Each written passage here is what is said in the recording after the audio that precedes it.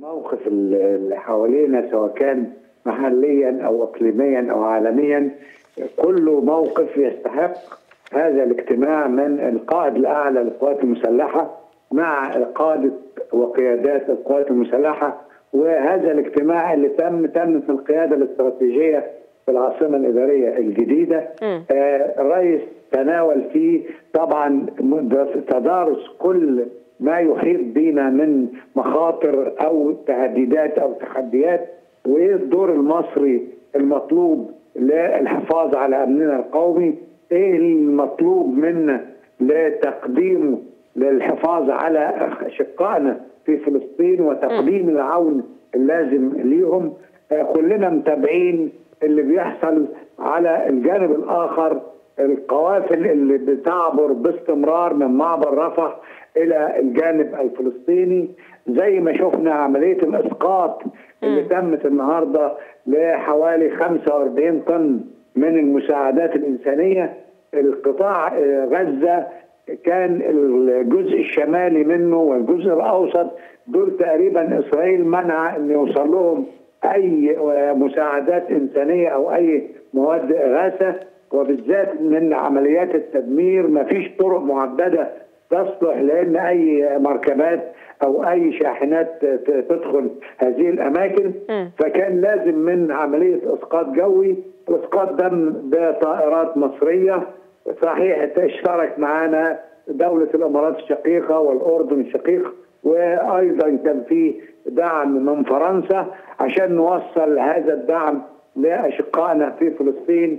اللي هم كانوا بيقاسوا من المرض ومن الجوع صحيح. ومن كل سبل الحياة لأن إسرائيل كانت بتحاصرهم حصار يعني حاد جدا عشان تجبرهم على إنهم يتحركوا مع الناس اللي راحت إلى مدينة رفح. ولكن دول حوالي 700 ألف بقوا في غزة وفي دير البلح وفي جباليا ما كانوش لاقيين أي سبل تساعدهم على الحياة.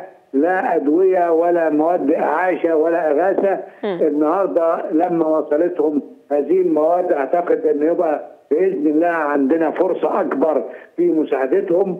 أيضا المعسكر الثاني اللي, اللي أقامه الهلال الأحمر المصري مع الهلال الأحمر الفلسطيني. الخيام اللي اتعملت في تقريبا في وسط قطاع غزة.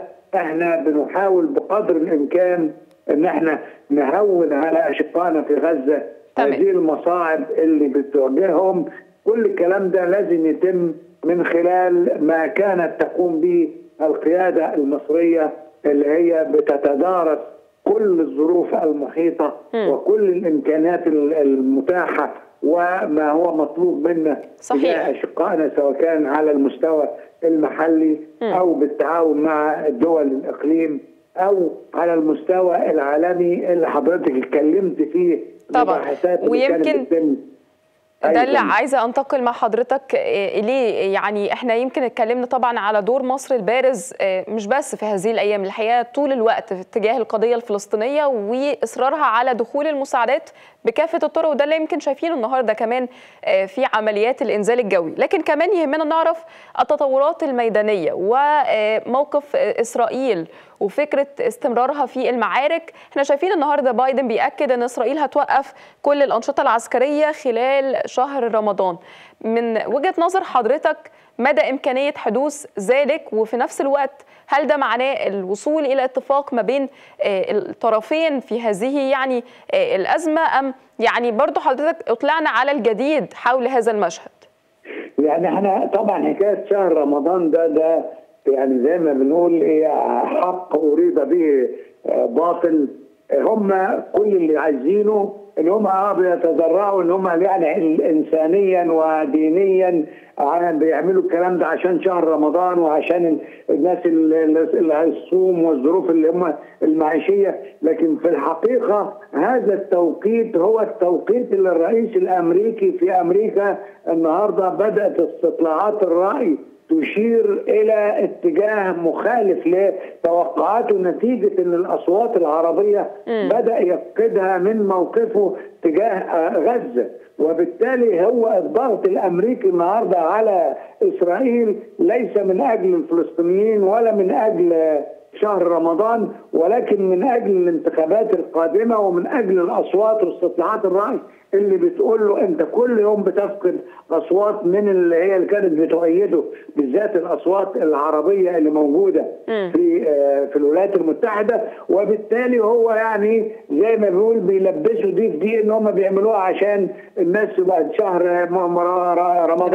شهر مفترج وعشان يبقوا يعني بيقدموا حاجة ترضي مشاعر المسلمين ولكن هي في الحقيقة هي بترضي أو بتساعد في انها تمنع هذا الانزلاق إلى الأسفل للناخب الأمريكي اللي ابتدى يحرم بايدن من أصواته فده تقرب للناخب العربي عشان مرة أخرى تمام. يحاول إن هو يكسب هذه الأصوات. فكل اللي بيحصل ده يعني من أجل الانتخابات ومن أجل الرئيس بايدن شخصيا وهذا الضغط على إسرائيل ليس من أجل ما تلاقيه غزة لأن النهاردة دخلنا في مئة ألف قتيل وجريح ما عملوا لهم إيه؟ ولا حاجة. الرئيس الأمريكي لما مات عنده ثلاثة أمريكان في القاعدة 22 هناك على حدود الأردنية السورية الدنيا قامت ما عادتش. إنما دول يموت منهم 30000 وينجرح 70000 يعني فين مم. على ما ابتدت أمريكا تصحى وتقول هنعمل وقفه اطلاق نار. وتبادل الاسرى والرهائن وكل ده يعني العالم بيكيل بمكيالين سياده اللواء ويعني كافة القاده العرب أكدوا على إن العالم أصبح بيكيل بمكيالين في هذه القضية تحديدا في فكرة التعامل مع حجم الضحايا والقتلى في غزة اللي إحنا بن بن بنشوفه باستمرار. يعني آدي زي ما شفنا شوف إسرائيل كل اللي بتعمله ويقف الرئيس الأمريكي والمسؤولين في الغرب يقول لك من حق إسرائيل أن تدافع عن نفسها، تدافع صحيح. عن نفسها إيه؟ مين اللي بتضربه الأطفال والنساء اللي بتقتلهم بالشكل ده؟ م. عشرات الآلاف اللي بيموتوا من الأطفال والنساء، هل هم دول اللي, اللي اعتدوا على إسرائيل؟ هل هم دول أعضاء في حركة حماس؟ م. طبعا كلام العمارات اللي اتهدمت على كل الساكنين اللي فيها إلى التجويع والقتل الممنهج والإبادة الجماعية اللي بتعملها إسرائيل. طبعا الكلام ده إحنا بنقول إن شاء الله بنتمنى نتمنى طبعا. سبب من الأسباب إن يتم إيقاف إطلاق النار.